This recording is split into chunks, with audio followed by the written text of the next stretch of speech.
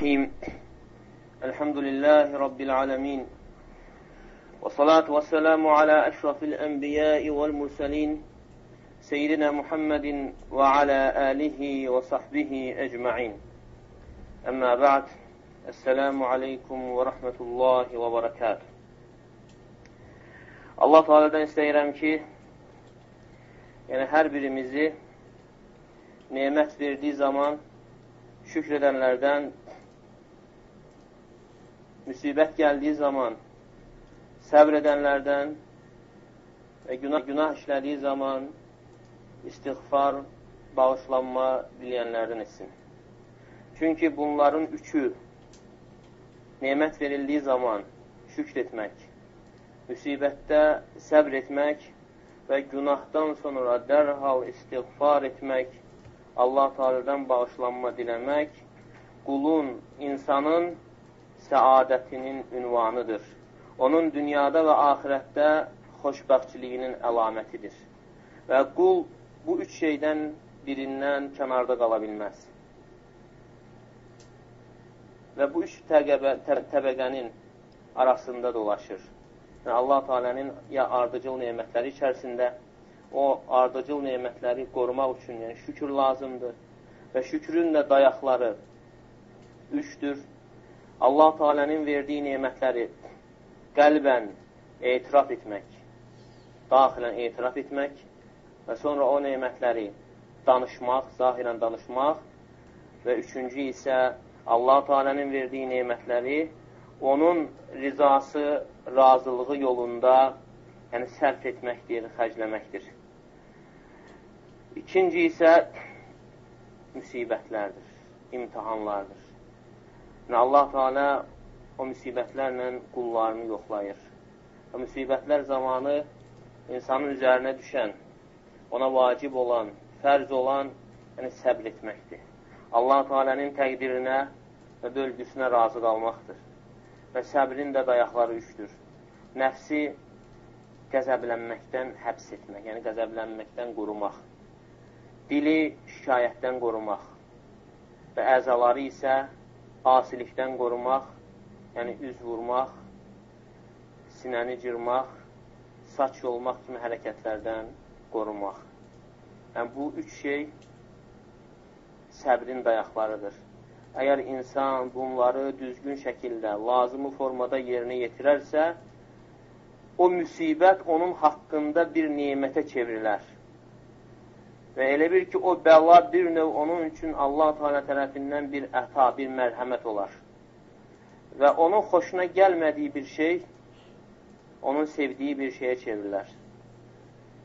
Və burada bir şey bilməliyik ki, Allah Teala bəla və yaxud da müsibət verdiyi zaman qulunu həlak etmək üçün, qulunu məhv etmək üçün ona müsibət vermir. Yəni, Allah Teala quluna qarşı çox rəhimlidir.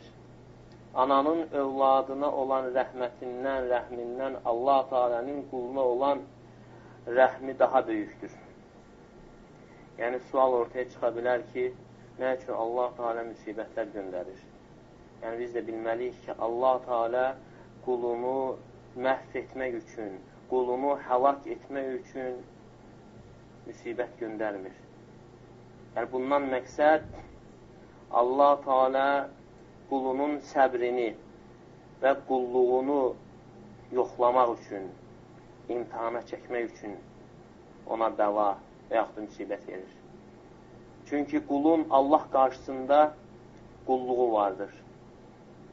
Həm firavan vaxtında, həm nimət anında və həmçinin də müsibət anında da Allahın qarşısında qulluğu vardır. Və insanların çoxu sevdiyi şeylərdə o qulluğu yerinə yetirir. Amma əsas olan isə odur ki, nəfsə ağır gələn işlərdə, nəfsə ağır gələn məsələlərdə insanın qulluğu yerinə yetirməsidir. Və bununla qulların, insanların dərəcəsi fərqlənir Allah qatında olan dərəcəsi. Misal olaraq, şiddətli isti zamanı sərin su ilə dəstəmaz almaq ibadətdir. Məşiddətli isti zamanı sərin su ilə dəstəmaz almaq ibadətdir. Və eyni ilə nəfsə ağır gələn, şiddətli soyuq zamanı soyuq su ilə dəstəmaz almaqda ibadətdir. Lakin bu ibadət, iki ibadət arasında böyük fərq vardır. Əgər bir kimsə hər iki halda qulluğu tam şəkildə yerinə yetirərsə, nəfsə ağır gələn işlərdə və həmçinin nəfsinə xoş gələn işlərdə də ə, e, qulluğu yerinə yetirərsə, o insan Zümər surəsində keçən 36-cı ayənin mənasına daxil olur. Allah Teala buyurur: "Əleyhisallahu bikafin abdə." Məgər Allah Teala öz quluna, öz bəndəsinə kifayət deyilmi? Allah Teala'nın quluna olan kifayəti, yardımı ə, qulun qulluğundan, qulun ibadətindən, itaatindən asılıdır. Və əgər, əgər qul tam şəkildə ibadət edərsə, qulluğu tam şəkildə olarsa və Allah Teala'nın ona olan yardımı da tam şəkildə olar. Əgər insanın qulluğu naqis olarsa, Allah Teala'nın da ona olan yardımı naqis olar. Və buna görə, əgər bir insan yəni xeyir görərsə, xeyir əldə edərsə, Allah həmd, həmd eləsin və bundan başqasını görərsə, yalnız öz nəfsini qınasın. Və bu qullar, yəni hər iki halda, həm firavan vaxtı, həm də çətinlikdə Allaha qulluq edən insanlar o kəslərdir ki, şeytanın onların üzərində, iblisin onların üzərində hökümranlığı yoxdur. Necə ki, Allah Teala Hecr surəsi 42-ci ayədə buyurur, İnnə ibadi leysə ləkə aleyhim sultan. Sənin, mənim qullarım üzərində, yəni mümin bəndələrim üzərində sənin heç bir hökümranlığın yoxdur. Nə vaxt ki, Allahın düşməni olan iblis Allah Teala'nın qullarını özünə təslim etməyəcəyini, etməyəcəyini bildiyi zaman söz verdi ki, Fəbi izzətikə ləəvviyənnəhum əcməin Sənin izzətinə and olsun ki, mən onların hamısını azdıracağam. İllə ibədəkə minhumul müxlasin Yalnız sənin muxlis, xalis bəndələrindən başqa. Yəni, Allah Teala mömin bəndələri üzərində iblisin hökmranlığını qoymamışdır. Çünki o mömin bəndələr Allah Teala'nın himayəsində, Allah Teala'nın qorunmasındadırlar. Və bəzən iblis onları qəflət baxımından, qəflət halında onları yaxalasa belə onlara hücum etsə belə və yaxud o vaxtı onları azdırsa belə, yenə Allah Teala'nın rəhməti onlara çataraq, yəni onların yenə də doğru yol tapmasına, doğru yola düşməsinə müvəffəq olurlar.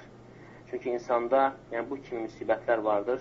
Qəflət, xəstəliyi, şəhvət və həmçinin yəni, qəzəb, qəflət, qafillik, şəhvət və həmçinin qəzəblənmək və şeytanın da insana daxil olması bu qapılardandır. Və insan nə qədər yəni, qorunmağa çalışsa da, yəni, istər-istəməz qəflətə düşdüyü anı olur, qəzəbləndiyi anı olur e, və həmçinin də şəhvətə düşdüyü anları da olur və şeytan da bu anlardan istifadə edir. Baxın, bəşəriyyətin atası olan Adəm əleyhissalam, o insanların ən ağıllısı və insanların ən sabiti idi Və bununla yanaşı Allahın düşməni iblis o qədər ona vəsvəsə verməkdə davam etdi ki, nəhayət onu istədiyi işə onu saldı. Əgər bir Adəm əleyhissalam insanların ən ağıllısı və ən sabiti olduğu halda iblis davamiyyətlə onu bu işə salıbsa, gör başqaları Adəm əleyhissalama nisbətdə müqayisə oluna bilərmi? Hansı ki, onların başqasının ağlı onun ağlına nisbətdə, onun ağlının yanında dənizə atılmış bir tüpürcək kimidir. Lakin Allahın düşməni nə vaxt təsir edə bilir? və insanın o hallarında, qəflətə düşdüyü anlarda, qəflət də zikrin əksidir. Yəni, Allahı xatırlanmağın əksi qəflətdir, qafillikdir. İnsan Allahı zikr eləmədiyi zaman, qəflətdə olduğu zaman, yəni insan e, şeytan üzə çıxır. Ona vəsvəsə verir, onu azdırmağa çalışır və həmçinin ona təsir edir, onun qəzəbləndiyi an və həmçinin şəhvətə daldığı an, an onu təsir edir, onu azdırmağa çalışır və elə zənn edir ki, o bir daha Allaha yönəlməyəcək, lakin Allahın rəhməti bunun arxasında olduqca böyükdür. Və bundan sonra Allah Teala bir quluna xeyir istəyərsə, ona tövbə qapısını açar. Allah Teala bir quluna xeyir istəyərsə, ona tövbə, peşmançılıq, Allahın qarşısında zəlil olmaq və Allaha möhtaclıq qapısını açar və doğru şəkildə Allaha sığınmaq və daimi şəkildə daimi şəkildə ə, yalvarmaq, dua etmək və bir çox həsənətlərlə, yaxşı əməllərlə ə, Allaha yaxınlaşmaq qapısını açar Hətta onun düşdüyü bu günah tövbədən əvvəl o qulun düşdüyü o günah onun üçün rəhmətə bir səbəb olar. Allahın rəhmətini qazanmağa bir səbəb olar. Hətta Allahın düşməni iblis deyər ki, kaş ki, mən onu o günaha salmazdım. Və bu mənada sələflərin bəzilərinin sözündə gəlmişdir. İnnəl abdə lə ya'məlu zəmb yədxulu bihil cənnə. Bəzən insan, bir qul bir günah işləyir, onun səbəbi ilə cənnətə daxil olur. Və ya'malul hasanə yədxul bihənnar və bəzən də yaxşı əməl işləyir və onunla cəhənnəmə daxil olur. Qalu keyf və soruşurlar ki, necə ola bilər ki, insan günahla cənnətə daxil olsun, yaxşı əməllə cəhənnəmə? Qalə ya'malu zəmb fələ yəzəlu nasba ayneyh. Yəni insan bəzən günahdan sonra yəni elə peşman olur və günahı gözünün qarşısında tutur və daima qorxu içərisində olur, ağlayır və peşmançılıq çəkir və Rəbbindən həya edir və Rəbbinin qarşısında e, başı aşağı olur və bu da o qulun xoşbəxtçiliyinin və səadətinin səbəbinə çevrilir. Hətta o günah onun üçün bir çox yəni itaətlərdən daha faydalı olur. Ona görə ki, bunun üzərində yəni görün nə qədər böyük yəni əməllər, yəni hasil olmuşdur. Hansı ki, o günahdan əvvəl baxmayaq, yaxşı işlər görürdü, onda bu hisslər yəni yaranmırdı. O günahdan sonra isə onun peşman olması, daima qorxu içərisində olması və Allaha yalvarması, Allahın qarşısında başı aşağı olması və bu da elə bir əməllərdir ki, insanı cənnətə yönəldir, Allah-u Teala'nın rəhmətini qazanmağa yönəldir. Və bəzən də insan yaxşı əməllə, yəni cəhənnəmi qazana bilər və bu da necə olur?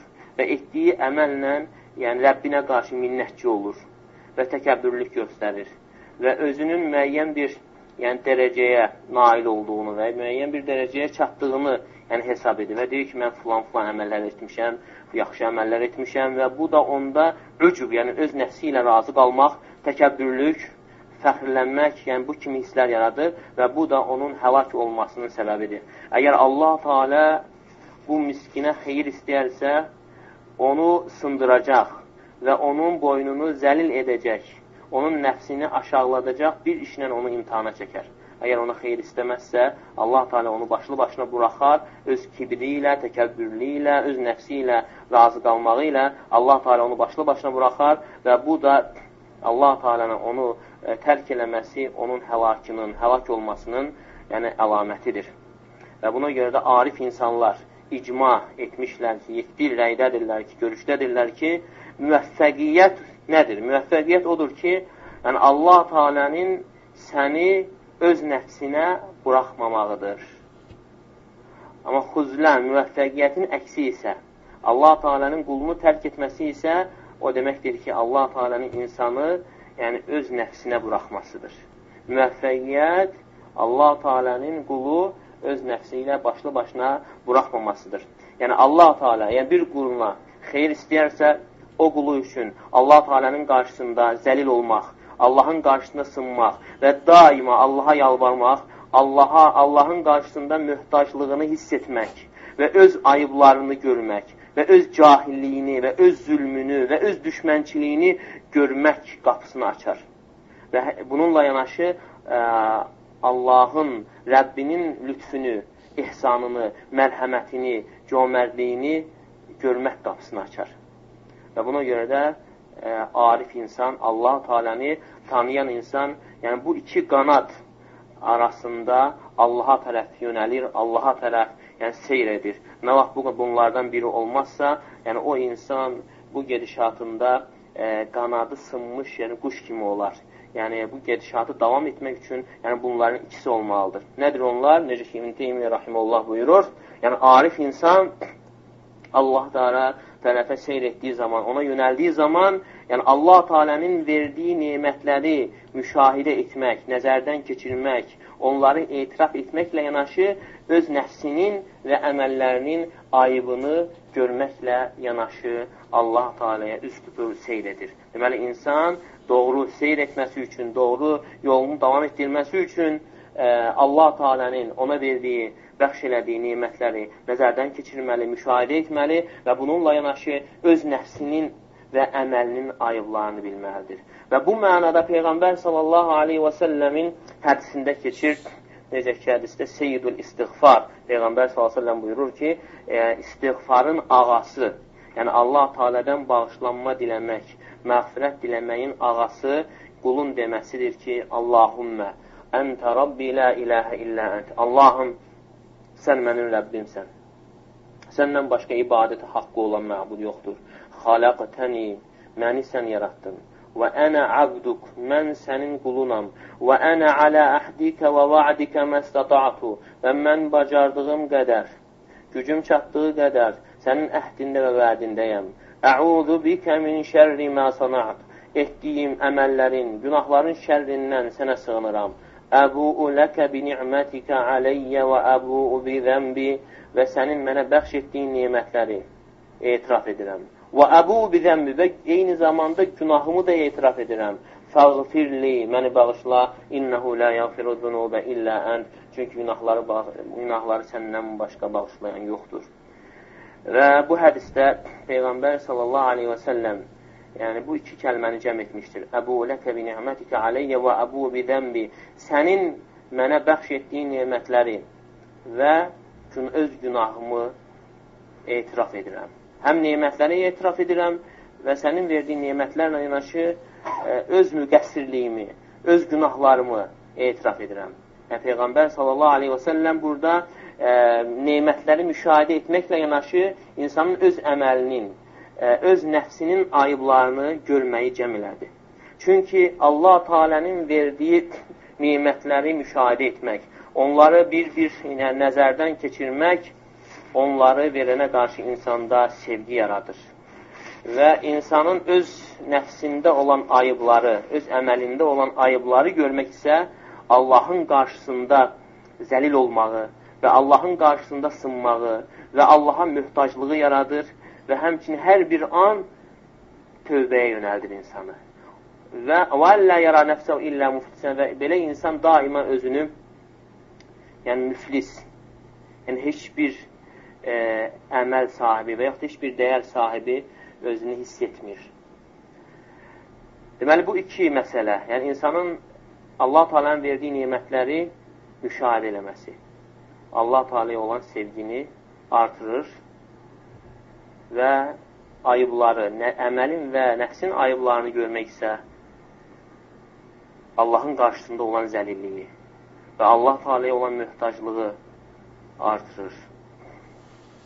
Və qulun da Allaha yaxın olduğu, yaxınlaşdığı ən yaxın qapı, yəni qulu, insanı Allaha yaxınlaşdıran ən yaxın qapı da yəni müflislik qapısıdır. İnsanı Allaha yaxınlaşdıran ən yaxın qapı müflislik qapısıdır. Yəni insanın nə qədər əməllər, ibadətlər etməsinə baxmayaraq, özünün heç bir dəyər sahibi hiss etməməsidir və daima özünü Allahın rəhmətinə möhtac hiss eləməsidir. Yəni, insan Allaha yaxınlaşır tam sırf möhtaclıq qapısından. Və Allaha yönəlir Allahın qarşısında sınaraq Allahın qarşısında sınaraq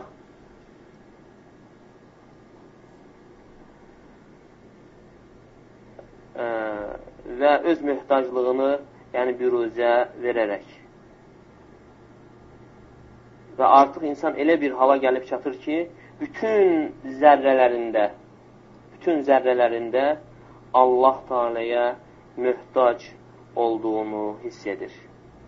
Və insanı da Allaha yaxınlaşdıran ən yaxın qapı elə qulluq qapısıdır.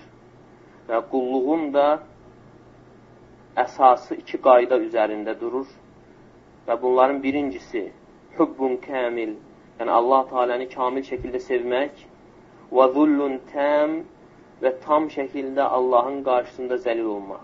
Deməli, kamil sevgi ilə tam zəlillik. Bu qulluğun, Allahın qarşısında olan qulluğun yəni əsasıdır.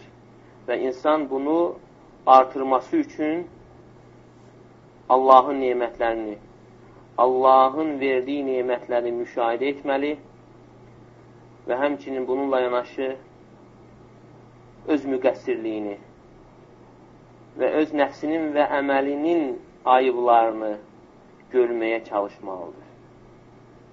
Və bununla artıq qulluğun əsası olan tam sevgi ilə tam zəlillik, kamil sevgi ilə tam zəlillik yəni hasil olur.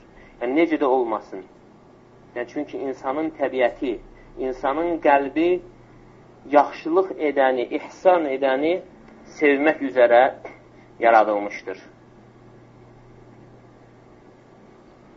Hətta insanlardan biri sənə yaxşılıq elədiyi zaman istər-istəməz səndə ona qarşı sevgi yaranır.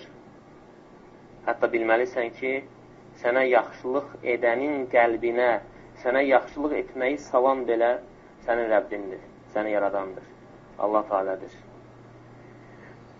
Və bunların da düzəlməsi üçün qəlbin düzəlməsi gərəkdir. Və qəlb də iki şeylə düzəlir. Və birincisi, Allah sevgisi onda, o insanda, onun insanın qəlbində bütün sevgilərdən üstün olmalıdır. Əgər sevgilər qarşı-qarşıya gəldiyi zaman Allah sevgisi önə keçməlidir. Bütün sevgilərdən önə keçməlidir. İbn-i Qayyim Rahiməllah buyurur ki, yəni bunu iddia etmək nə qədər də asandır, lakin bunu əməldə göstərmək necə də çətindir. Həqiqətən deyil, insan imtihan vaxtı hörmət qazanır və yaxud da alçalır. Və nə qədər insanlar, neçə-neçə insanlar vardır ki, nəfsinin istədiyini və yaxud da böyüyünün, əmrinin, başçısının istədiyini, ailəsinin istədiyini Allahın istədiyindən üstün tutmuşdur. Əgər insan belə edərsə, Allah sevgisi onun qəlbində bütün sevgilərdən böyük yer tutmamışdır. Və Allah Teala'nın belə bir insanlarda qoyduğu bir qaydası yolu vardır. Əgər insan başqa sevgiləri Allah sevgisindən üstün tutarsa, o insan sevdiyi şeylərdə problemə düşər və sevdiyi, sevdiyində sıxıntı çəkər və hətta onu sıxıntı ilə əldə edər. Bu da ona bir cəza olaraq nəfsi istəyini Allahın istəyindən üstün tutduğuna görə. Və Allah Teala'nın təqdiridir ki, əgər bir kimsə başqasını sevərsə, Allahdan başqasını sevərsə, sevdiyi ilə ona əzab verilər. Bu da mütləqdir. Və kim Allahdan qeyrisindən qorxarsa, elə qorxduğu onun üzərinə musallat olar, onun üzərinə hakim olar. Əgər bir kimsə Allahdan qeyrisi ilə məşğul olarsa, elə onun problemləri elə məşğul olduğunda üzə çıxar. Əgər bir kimsə Allahdan başqasını üstün tutarsa və onda ona bərəkət verilməz. Əgər bir kimsə Allahı qəzəbləndirərək başqasını rahat salarsa, Allah Teala elə edər ki, onun özü də rahat salmaq istədiyi insanın özü də ona qarşı qəzəblənər. Deməli, qəlbin düzəlməsi üçün birinci, qəlbdə olan Allah sevgisi hər bir sevgidən üstün olmalı və ikinci isə qəlbin düzəlməsi üçün əmri və qadağanı təzim etmək, ucatmaqdır.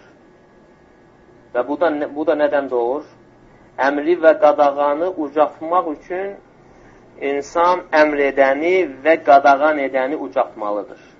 Əgər bir insan Allah Teala'nın əmirlərini təzim edirsə, yəni ona diqqətlə yanaşırsa və həmçinin qadağalarına diqqətlə yanaşırsa, ondan e, güclü şəkildə çəkinirsə, bu o deməkdir ki, o insan əmr edəni təzim edir. Əmr edən də Allah Teala'dır və qadağan edəni təzim edir.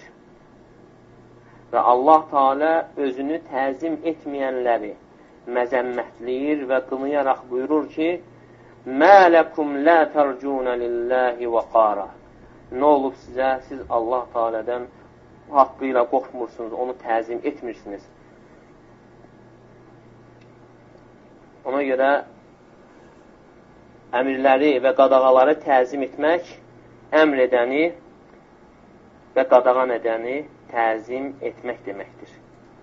Və bəzən insan əmri yerinə yetirir, insanlar görsün deyə və insanların qəlbinə girmək üçün və insanların yanında müəyyən şan şöhrəti əldə etmək üçün.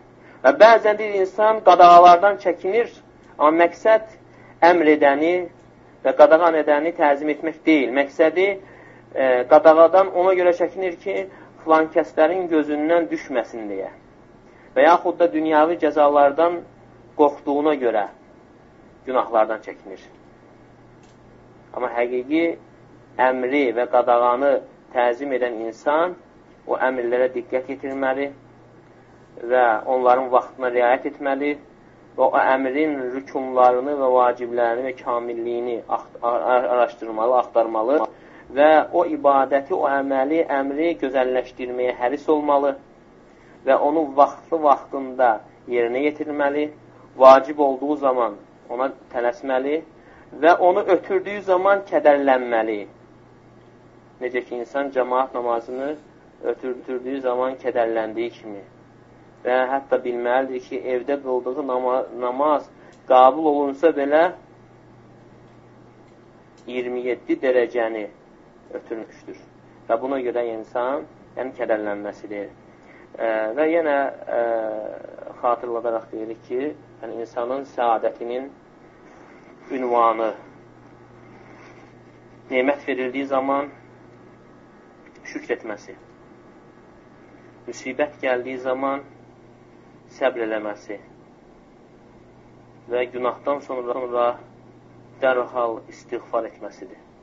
Yəni, müsibət zamanı yəni, səbr etmək, yəni burada mühüm məsələ keçdi ki, yəni bilməliyik ki, Allah Teala qulunu həlak etmək üçün müsibət göndərmir. Allah Teala quluna qarşı çox rəhimlidir. Yəni, Allah Teala qulunu yoxlayır. Və ümumiliklə bilməliyik ki, hər gələn müsibət günahlara görədir.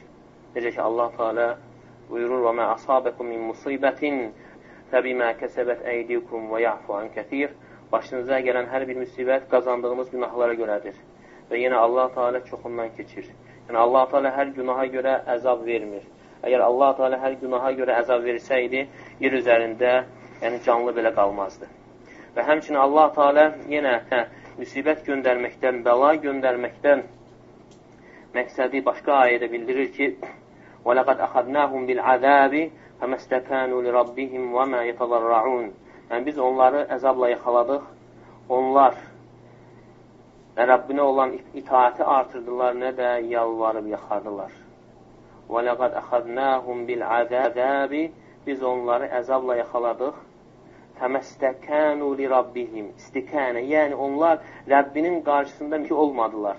Müsibət gəldiyi zaman ibadəti artırmaq əvəzinə daha da azınlaşdılar və mə yətədarraun nə də yalvarıb yaxardılar. Yəni Allah Teala müsibət göndərdiyi zaman qullarından istədiyi odur ki, qullar ibadəti artırsın və qulları dönsün, günahlardan əl çəksinlər.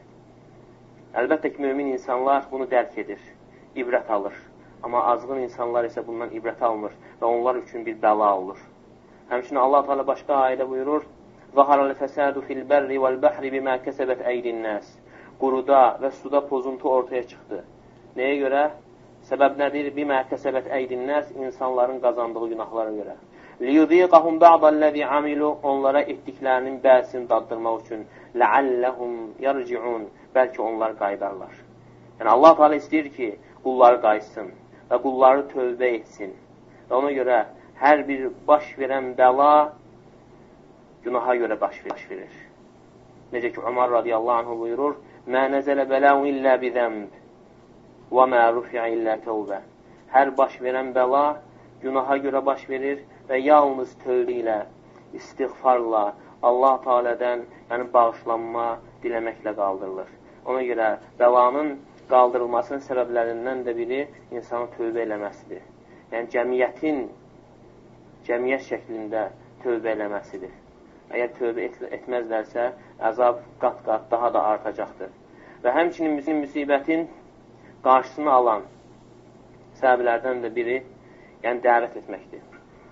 Dəvət məşğul olmaqdır. Yəni, insan hidayətə gəldikdən sonra, o hidayətin ləzzətini duyduqdan sonra, duyduğu ləzzəti insanlara çatdırması və həmçinin insanlara yaxşını əmr edib, yəni pisdən çəkindirməsidir. Əgər insanlar yaxşını əmr edib pisdən çəkindirməzlərsə, onda onlara həlak gələ bilər, bəla gələ bilər. Əgər onlar dəvətlə məşğul olub, yaxşını əmr edib pisdən çəkindirsələr, yəni, yəni ona görə o kəndin, o məmləkətin içərisində muslihlərin olduğuna görə onlara bəla gəlməz. Necə ki, Allah Teala Hud surəsində buyurur: "Və mə kan rabbuka muhlikal qura zulmin rabbuka yuhlikal qura bi zulmin və əhluha muslihun." Sənin Rəbbin, yəni bir məmləkəti zülmünə görə həlak edən deyildir, nə qədər ki, onların içərisində muslihlər vardır, yəni islah edənlər vardır. Nə qədər ki, islah edənlər, yəni özü salih olduğu halda insanlara çatdırır və insanların islahına çalışır və onların səbəbi ilə yəni bəlanın yəni qarşısı alınır. Yəni bu da bir daha bizə onu bildirir ki, yəni bildiyimiz halda əməl etməli və ondan sonra onu çalışmağa, ə, çatdırmağa çalışmalı və sonra bu yolda ə, baş verən e, müəyyən imtihanlara da, yəni səbr etməli, səbr etməliyik. Çünki Allah Teala buyurur: "Vel asri in insana lafi khusr illa allazina amanu ve amilus salihati ve tevasav bil haqqi ve tevasav bis sabr." Vel asr and, and olsun əsrə, yəni zamana. Yəni Allah Teala yəni zamana and içir və həmçinin Allah Teala and içirsə, anddan sonra mühüm bir məsələnin gəldiyini bildirir. İnnəl insan ləfi xusur. Həqiqətən insan, insan, yəni bütün insanlar xusranı, ziyan içərisindədir. İllellədinə əmənu, iman gətirənlər, yəni elm öyrənənlər və amilus salihət, salih əməl işləyənlər və təvasav bil haqqi və haqqı bir-birinə tövsiyə edənlər və təvasav bil sabri və bir-birinə səbri tövsiyənlərdən başqa. Yəni, bütün insanlar xüsran, ziyan içərisindədirlər, yalnız bu dörd sifətlə vəsflənənlərdən başqa. Əgər insan ziyan içərisində olanlardan ə, çıxmaq istəyirsə, onların içərisində olmaq istəmirsə, yəni bu dörd sifətə nail olmağa çalışmalı, öyrənməli, əməl etməli və sonra bildiyinə ə, e, əməl etdikdən sonra Allahın yoluna çağırmalı və sonra bu yolda yəni səbr etməlidir və bilməlidir ki, bu yol yəni gül çiçəklə yəni bəzənməyib, yəni bu yolda müəyyən çətinliklər olacaqdır. Ə, necə ki, əvvəlkilərin də başına gəlib və bu gündə var və sonra da yəni bu davam edəcəkdir və lakin yəni gözəl aqibət yenə yəni müttəqilərindir, Allah Teala'dan, yəni qorxanlarındır. E, və buna görə yəni çalışmaq və səbr eləmək, necə ki, Loğman əleyhissalam oğluna tövsiyə edir, buyurur ki, Ya buneyyə, əqimis salətə və amur bil ma'rufi və anhanil munkəri və asbir alə ma asabək. Ey oğlum, ə, namaz qıl, yaxşını əmr et və pisdən çəkindir və başına gələnə səbr et. Ey oğlum, namaz qıl, yaxşını əmr et, pisdən çəkindir və başına gələnə səbr et. Və insanda sual doğur ki, yəni bu nəyə səbr etməlidir? Namaz qıl, yaxşını əmr et, pisdən çəkinir. Yəni, bu onu bildirir ki, əgər insan namaz qılarsa və yaxşını əmr edərsə və pisdən çəkindirərsə, səbrə ehtiyacı olan şeylərlə yəni, qarşılaşmalıdır. Və buna görə də yəni, səbr etməlidir. İnsan heç vaxt yəni, problem istəməməli ə, e, və problemdən qaçmağa çalışmalı. Lakin düz yolla getdiyi zaman müəyyən imtihanlarla qarşılaşarsa, yəni sabit olmağa çalışmalıdır. Əgər belə edərsə, yəni Allah Teala ona yardım edər. Çünki Peyğəmbər sallallahu aleyhi və səlləm buyurur ki, Lə tətəmənnəv liqa'əl aduf düşmənlə qarşılaşmağı arzulamayın.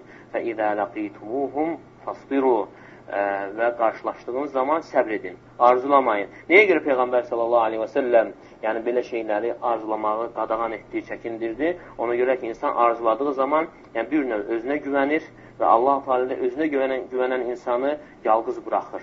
Allah Teala'nın da yardımsız buraxdığı bir kimsə əlbəttə məhv olan bir kimsədir. Amma o insan ki, arzulamır və düzgün yolla getməyə çalışır və sonra qarşılaşdığı zaman, çünki o insan Allaha təvəkkül etdiyinə görə, Allaha söykəndiyinə görə Allah Teala ona yardım edir və hər bir sıxıntıdan yəni ona yəni çıxış yolu yəni açır. Və buna görə də e, həm özümə bir tövsiyə kimi, həm də sizə də qardaşlarım, yəni çoxlu, yəni tövbə etməyimiz gərəkir, çoxlu istiğfar, çoxlu bağışlanma diləmək. Yəni, sözsüz ki, yəni, batil əhli də çalışır, batil əhli də Allah Teala'nın nurunu söndürməyə çalışır. Onlar ə, e, yatmadan, dayanmadan onlar çalışırlar. Yəni, e, haqq əhlinə üçün yəni, çalışmamalıdır. Və onlar çalışırsa, biz daha çox çalışmalı və buna görə inşallah yəni, əcir də var, yəni savab da var və Allah Teala'dan yəni savabı ummalı e, və həmçinin yəni düzgün səbəblərdən tutaraq yəni bu yolu davam etdirməli. Yəni inşallah Allah Teala'nın e, yardımı yaxındır və Allah Teala buyurur ki, e, əgər siz səbr etsəniz və təqvalı olsanız, lə yadurrukum keyduhum şeyə onların hiləsi, batil əhlinin hiləsi heç bir yəni, zərər toxundurmaz. Yəni, hər bir mömin, hər bir müsəlman e, bir fərd olaraq öz üzərinə düşəni yerinə yetirməyə çalışsa, yəni Allah Taala'nın yardımı olacaqdır. Əgər öz üzərimizə düşəni yerinə yetirməsək, artıq işlərlə, dedikodu ilə məşğul olsa, Allah Taala'nın yəni yardım gəlməyəcək. Yəni Allah Taala deyir, əgər siz səbirli və təqvalı olsanız, onların düşmənlərin hiləsi heç bir zərər toxundurmayacaq. Nə vaxt toxunacaq? Əgər biz səbirli olmasaq və təqvalı olmasaq, onda toxunacaqdır. Və üzərimizə düşən yəni səbirli olmaq və təqvalı olmaq və həmçinin e, çoxlu istiğfar etmək günahlarımıza görə, çoxlu bağışlanma diləmək. Çünki hər biri baş verən bəli günahlara görədir və onların da aradan qalxması üçün mütləq tövbə və istiğfar, Allah Taala'dan bağışlanma diləmək lazımdır. Və sonda yenə Allah Taala'dan istəyirəm ki, Allah Taala yəni hər birimizi nemət verildiyi zaman şükür edənlərdən, e, müsibətə düşdüyü zaman, yəni səbr edənlərdən günah işlədiyi zaman dərhal tövbə edənlərdən etsin. Sallallahu əleyhi Muhammedin və alə alihi və səhbə səlləm. İnşallah asan suallar varsa verilə bilər.